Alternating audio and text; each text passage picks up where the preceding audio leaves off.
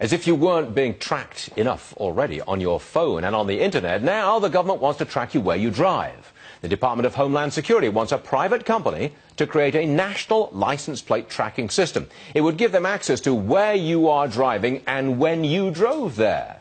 They claim this will help find criminals and illegals. Judge Andrew Napolitano is steamed, and he's here. I'm not making a joke of this. I know you're, you're upset about this. Right. But I don't understand why. I don't understand You don't understand why wrong. I'm upset or what's wrong with this? No, I, I don't understand. Well, I understand why you're upset, obviously. I mean, I know you quite well, sir. But wait a minute. What, what's wrong with a police department, an, an instrument of government, taking a picture of a license plate, shooting it up to a satellite, a database, and back comes the information on whether this is a good guy or a bad guy? I don't, I don't see what's wrong with Because the Fourth Amendment to the Constitution puts a bar on the ability of police to uh, commence an investigation, and they have to jump over that bar. And that bar is called articulable suspicion.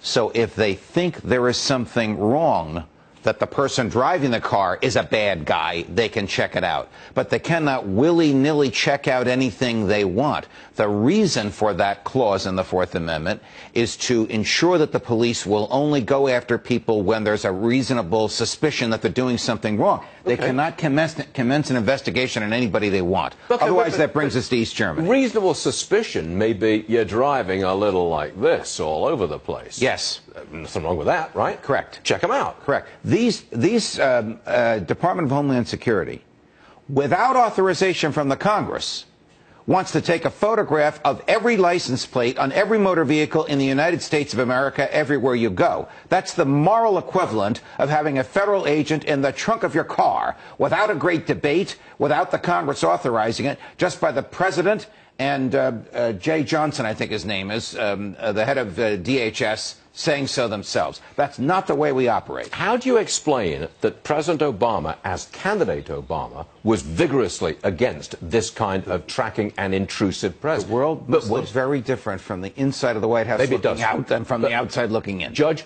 maybe it does look different. When you're on the inside and you're acquainted with all the facts and all the threats which are coming at us, maybe that's when you face the reality that you need this kind of tracking. Maybe you think you don't need the Constitution anymore because you have that pen and that phone. We're on the same side on that one. Um, Well, yeah, um, um, you You're got speechless. Stuart is speechless. It's rare, rare indeed, ladies and gentlemen. God, All love, right. God love you, Stuart. Thank you very much, Judge.